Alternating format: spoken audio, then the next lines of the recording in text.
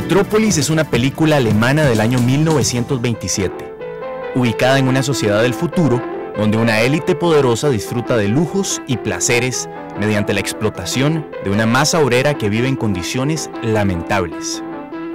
Son memorables muchas de sus escenas, como la creación de un ser humanoide con ayuda de descargas eléctricas o como la ciudad del futuro, donde las vías de comunicación están separadas verticalmente para evitar accidentes entre peatones, automóviles o aviones.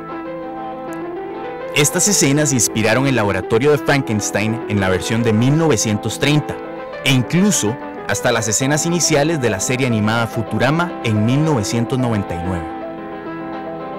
La película presenta varios conceptos tecnológicos importantes.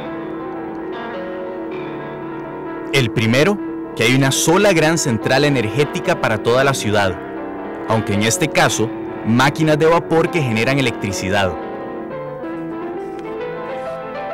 Se visualizan mega estacionamientos para automóviles personales, un centro de control con pantallas múltiples, similares a los que muchos años después se usarían para dirigir los viajes espaciales, e incluso casas automatizadas. En todos estos casos, el tiempo moderno le ha dado la razón a la película. Considerado el robot más hermoso que ha producido el cine occidental hasta la fecha, el robot femenino de Metrópolis se inspira en una aspiración milenaria de construir la imitación perfecta de una persona. Con versiones que incluyen a la autómata Olimpia, imaginada en 1816 por Ernst Hoffmann en El hombre de arena, hasta las robots bellas e indetectables de Blade Runner dirigida por Ridley Scott en 1982.